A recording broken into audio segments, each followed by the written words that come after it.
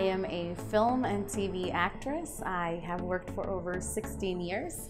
I never ever imagined I would be a professional actor coming from El Salvador, a place where there are no, no opportunities to become an actor was shocking and a, a very pleasant surprise.